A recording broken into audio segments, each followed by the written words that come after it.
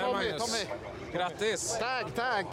Fjärde raka segern. Ja, det är fantastiskt. Det är man ju inte bortskämd med. Du som var så bekymrad innan. Ja, han var, jag har ju varit lite rullig och sådär, men eh, ja, han är jättefin hästen. Du testar lite annan balans idag ju. Ja, vi körde en lite lättare idag.